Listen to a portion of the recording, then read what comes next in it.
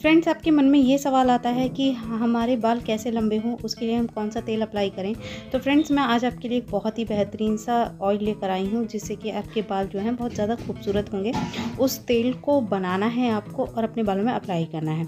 और फ्रेंड्स अगर आपके बालों में किसी भी तरीके की समस्या है, जैसे कि अगर हम हेयर वॉश करते हैं तो बहुत ज़्यादा क्या होता है, बाल गिरते हैं। बहुत लोगों को ये प्रॉब्लम है।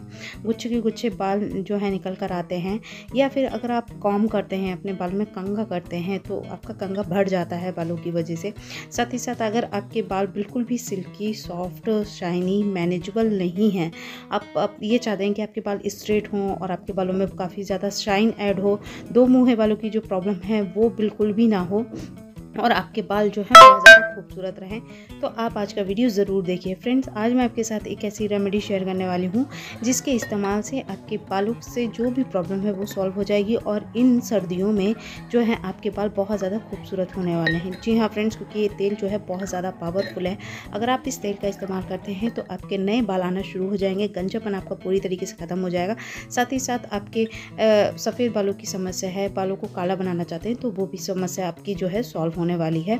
बस इस तेल को किस तरीके से प्रेपर करना है, इसके लिए आपको पूरे वीडियो देखना है और इस तेल को किस तरीके से बनाना है उसको आगे बताने से पहले मेरी आपसे बस एक छोटी सी रिक्वेस्ट है कि अगर आपको वीडियो थोड़ा सा भी यूज़फुल लगे, थोड़ा सा भी अच्छा लगे तो लाइक शेयर ज़रूर करें। तो फ्रेंड्स रेमेडी को बनाने के लिए हमें करना क्या है? आपको एक पैन लेना है गैस पर रख देना है। गैस की फ्लेम जो है बहुत ज़्यादा ही लो रखनी है। ठीक है, मैं यहाँ पर सरसों का तेल ले रही हूँ। आप चाहे तो यहाँ पर कोकोनट ऑयल ले सकते हैं, लेकिन जब भी आप लगाएँगे तो फिर उसको आपको थोड़ा गुनगुना करना पड़ेगा, तभी आपको लगाना पड़ेगा, क्योंकि सर्दियों में जम जाता है। इसलिए मैंने यहाँ पर सरसों का तेल लिया है। ठीक है? क्वांटिटी आप ऊपर नीचे कर सकते हैं। उसके बाद मैं यहाँ ले रही हूँ हीना पाउडर हीना पाउडर मैं यहाँ पर एक चम्मच लूँगी। ये आपके बालों को नरिश करेगा रिपेयर करेगा आपके डैमेज बालों को। और ये आपके बालों को काफ़ी ज़्यादा ग्लॉसी बनाता है और वॉल्यूम ऐड करता है। ठीक है तो हम यहाँ पर एक चम्मच हीना पाउडर ऐड कर देंगे, जो कि मैंने अब्स गुडनेस का ही लिया है। ठीक है, ये जो प्रोडक्ट मैं यूज़ करी हूँ, उसके लिंक सारे जो है मैं आपको डिस्क्रिप्शन में दे दूँगी, आप ज़रूर से ज़रूर चेकआउट करें और बाय कर सकते हैं। ये तेल ज़रूर आप बनाइए, ये आपके बालों को बहुत ही ज़्यादा खूबसूरत बनाने वाला है। अब हमारे क्या है, जो आसम में बाल सफ़ेद हो जाते हैं तो उसके लिए हम यहाँ पर यूज़ करेंगे अल्प गुडनेस का इंडिगो पाउडर जी हाँ फ्रेंड्स ये भी हम यहाँ पर एक चम्मच लेंगे। ये आपकी हेयर ग्रोथ को प्रमोट करता है डेंड्रफ को ट्रीट करता है। साथ ही साथ जो आसम में बाल सफ़ेद हो रहे होते हैं, उसके लिए भी बहुत ज़्यादा अच्छा है। तो यहाँ पर ये भी हमें एक चम्मच ही लेना है। ठीक है? और फ्रेंड्स सबसे अच्छी बात तो ये हंड्रेड परसेंट ऑर्गेनिक है नेचुरल हैं। ठीक है? तो ये बहुत ज़्यादा अच्छी बात है। उसके बाद हम लेकोराइस पाउडर लेंगे। ये हमारे बालों के लिए बहुत ज़्यादा जो है अच्छा रहता है हमारी स्कैल्प के लिए। ये हमारे बालों को स्मूथ करता है और हमारे स्कैल्प को हाइड्रेट रखता है। तो ये भी हम यहाँ पर एक चम्मच लेने वाले हैं। ठीक है? अब उसके बाद हम अपने बालों में लगा आ, बालों के लिए लेंगे बीरूट पाउडर जी हाँ चुकंदर का जो कि अल्प गुडनेस का ही है। अगर हम इसकी बात करें तो ये आपके नरिश करता है आ, फॉलिकल्स को, और साथ में जो आपके हेयर लॉस हो रहे होते हैं, उसको भी रोकता है, ठीक है? तो इसलिए हम यहाँ पर ये एक चम्मच यहाँ पर बीरूट पाउडर ले रहे हैं, जो कि सारे अल्प गुडनेस के ही मैं यहाँ पर यूज़ कर रही हूँ प्रोडक्ट उसके बाद हम यहाँ पर करी लीव्स ले रहे हैं। करी लीव्स का फ़ायदे तो आप सभी को पता है, बताने की ज़रूरत नहीं है। ये भी मैं यहाँ पर एक चम्मच ही लूँगी।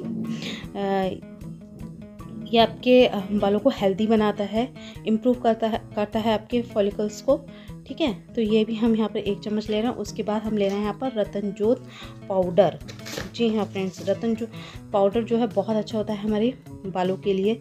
आपके आसम में बाल जो सफ़ेद होते हैं, उसके लिए बहुत ज़्यादा फ़ायदेमंद है। साथ ही साथ ये नेचुरल कलर रखता है आपके बालों को शाइनी बनाता है। तो यहाँ पर भी हम जो है एक चम्मच ही ले रहे हैं। उसके बाद हम यहाँ पर यूज़ करेंगे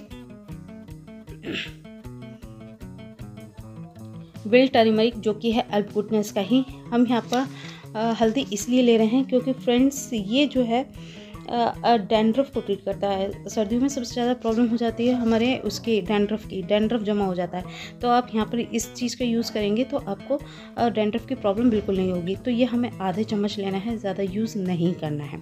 तो हमने यहाँ पर ये सारी चीज़ें ले ली हैं। उसको अब अच्छे से हमें जो है मिक्स करना है। मिक्सिंग बहुत ज़्यादा ज़रूरी है।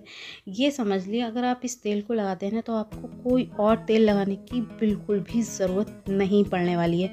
जी हाँ फ्रेंड्स, क्योंकि हमने इसमें ऐसे इंग्रेडिएंट को ऐड किया है, जो कि हमारे बालों के लिए बहुत ज़्यादा मदद करते हैं हेयर ग्रोथ के लिए। डेंड्रफ की प्रॉब्लम है, डेंड्रफ को ख़त्म करेंगे, हेयर फॉल की प्रॉब्लम है, हेयर फॉल को ख़त्म करेंगे आज समय बाद सफ़ेद हो रहे उसको ट्रीट करेंगे। तो जब हमें एक तेल में इतनी सारी चीज़ें मिल रही हैं तो फिर हम क्यों ना इस तेल को बनाएँ और यूज़ करें। आपको ये हल्के हल्के ही गर्म करना है हल्के लो फ्लेम पे ही बनाना है, क्योंकि अगर आप तेज़ कर देंगे तो इसके पाउडर सारे जल जाएँगे, इसके जो गुण हैं वो आपके ऑयल में नहीं आ पाएँगे। तो धीरे धीरे पकाएँ, ऐसे बॉयल आने दें और आपको पता कैसे चलेगा, ये तेल बन गया है क्योंकि तेल अलग हो जाएगा और जो पाउडर है वो नीचे बैठ जाएगा। तो आप समझ सकते हैं कि आपका तेल जो है बनकर तैयार हो गया है। ज़्यादा टाइम बिल्कुल भी नहीं लगने वाला है। ज़्यादा से ज़्यादा पाँच से सात मिनट लगेंगे, बस। और आपका जो तेल है बनकर तैयार हो जाएगा। आप ट्रस्ट मानिए, आप कम से कम पंद्रह दिन लगाएँगे तेल ना तो आपको रिज़ल्ट जो है, सात दिन में ही दिखने लगेगा। जी हाँ अगर आप इसको कंटिन्यू करते हैं, अगर वीक में दो या तीन बार इस तेल का इस्तेमाल करते हैं तो रिज़ल्ट जो है आपको कमाल के मिलेंगे। इसको पाँच से सात मिनट पकाएँ, फिर ठंडा होने के लिए रख दें। फिर आप छन्नी की मदद से छान सकते हैं। अगर आपको लगता है छन्नी की मदद से नहीं छाना तो आप मखमल के कपड़े से भी छान सकते हैं, क्योंकि जो पाउडर है वो आपका पूरा रह जाएगा और आपका ऑयल जो है निकल के आ जाएगा। तो इस तरीके से ये ऑयल हमारा बनकर तैयार हो गया है। इसकी अप्लीकेशन देख लीजिए। अप्लीकेशन करना बहुत ज़्यादा आसान है। आपको अच्छे से काम करना है और आपको अपने पूरे स्कैल्प में लगाना है, रूट्स में लगाना है और सबसे पहली बात आपको ये ओवरनाइट रखना है, ठीक है? दो से तीन घंटे अगर आपके पास बिल्कुल भी टाइम नहीं है तो लगा सकते हैं, वरना आप इसको ओवरनाइट ही रखें तो ज़्यादा अच्छा रहेगा। क्योंकि हमने इसमें इतने सारे इन्ग्रीडियंट ऐड किए हैं जो कि हमारे बालों को बहुत ज़्यादा अच्छा बनाएँगे वॉल्यूम ऐड करेंगे, आपके बालों को हेल्दी बनाएँगे शाइनी बनाएँगे तो थोड़ा सा टाइम दीजिए ताकि आपके बालों को पूरी तरीके से पोषण मिले, ठीक है? तो ओवरनाइट रखें और इस रेमेडी को वीक में दो या तीन बार तो ज़रूरी लगाएँ। आप अच्छे से तेल लगाने के बाद पाँच से सात मिनट मसाज कीजिए ताकि ब्लड सर्कुलेशन हो, ठीक है? उसके बाद जो है आप जूड़ा बना लीजिए। ज़्यादा टाइट आपको चोटी नहीं बनानी होती है, क्योंकि तो ज़्यादा आप टाइट चोटी बना लेते हैं तो आपके बाद जो है और भी ज़्यादा झड़ने लगते हैं। ठीक है? और उसके नेक्स्ट डे आप जो है अपने माइल्ड शैम्पू से हेयर वॉश कर लें। तो उम्मीद करती हूँ कि आपको जो आज की रेमेडी है यूज़फुल लगी होगी और जो जो मैंने प्रोडक्ट यूज़ किया है, अगर आपके पास नहीं है बाय करना चाहते हैं तो लिंक मैं आपको नीचे डिस्क्रिप्शन में प्रोवाइड करा दूँगी। आप वहाँ जाएँ और आप जो है खरीद सकते हैं। तो मिलते हैं आपको नेक्स्ट वीडियो में। तब तक लिए बाबा एंड टेक केयर अगर आपको इस वीडियो से रिलेटेड कुछ पूछना है तो आप मुझे कमेंट ज़रूर करें। मैं उसका रिप्लाई ज़रूर करूँगी।